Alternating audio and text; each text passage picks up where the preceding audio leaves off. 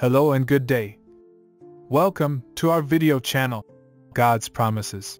And today's video will be a fast, concise overview, Book of Ezra, Chapter 9. Let's get started now. The Book of Ezra chapter 9 tells the story of Ezra's distress upon hearing about the intermarriage between the returning exiles and the people of the land. This chapter emphasizes the importance of obedience to God's laws and the consequences of disobedience, as well as the significance of repentance and turning back to God.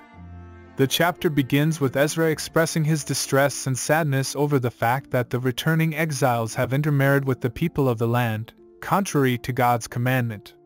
He tears his clothes and hair as a sign of mourning and goes before the temple to pray. Ezra's prayer in this chapter is significant as it demonstrates his humility and his understanding of God's righteousness. He acknowledges that the people have sinned and that they deserve the punishment that has come upon them. He also acknowledges that God is just and righteous in all his actions, including the punishment that has come upon them. Ezra then confesses the sins of the people, acknowledging that they have been unfaithful to God by intermarrying with the people of the land, contrary to his commandments.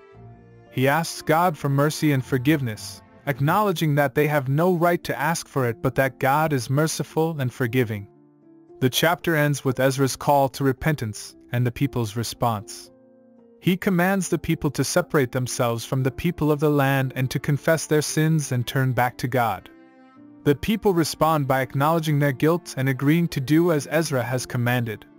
The teaching application of Ezra chapter 9 is significant. It emphasizes the importance of obedience to God's laws and the consequences of disobedience. It shows the danger of compromise and how it can lead to sin and the punishment that follows. It also emphasizes the significance of repentance and turning back to God, acknowledging our sins and asking for His mercy and forgiveness. In our own lives, we must be careful not to compromise our faith and obedience to God's laws. We must be aware of the dangers of sin and the consequences that follow. However, if we do sin, we can turn back to God, confess our sins, and ask for His mercy and forgiveness. We must also acknowledge that God is just and righteous in all His actions, and that we have no right to demand anything from Him. Ezra's prayer in this chapter is a great example of humility and dependence on God. We should follow his example in our own prayer life acknowledging our sins and seeking God's mercy and forgiveness. Finally, we must be willing to obey God's commands, even if they seem difficult or unpopular, and trust that He will always be with us and guide us in the right path. Thank you for visiting us today. Please share with us your favorite Bible chapter below in the comments section.